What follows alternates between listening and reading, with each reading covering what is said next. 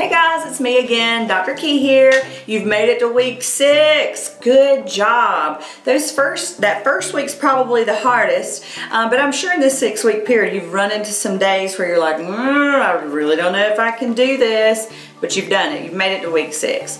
So looking ahead, we're gonna talk about your transition. The first six weeks are the most restrictive. That's where you have a very short list of things that you can really eat. Now we're gonna be broadening that list. Now we're gonna be adding back lots of fruits and vegetables. We're still not doing sugars, we're still not doing carbs. You still wanna avoid that kind of stuff, but you can expand the list of fruits and vegetables that you're gonna be eating starting next week. Um, so make sure you're reading your book. It does give you some additional pointers and tips. You're gonna wanna keep those lean meats coming. You're gonna wanna stick with those things that you know are good for your body add back some fruits and vegetables.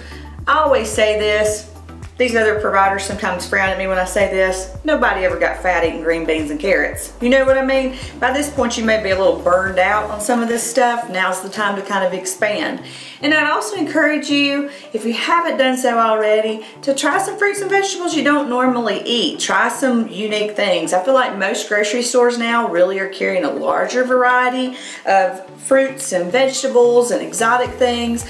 So get out there and try something new. But again, just remember, we're still leaving off sugars and carbs but we're adding lots of other fruits and vegetables back in. So you'll have some more variety in your diet this next six weeks. And then as we get closer to the end of your 12 weeks, we'll talk more about what happens next.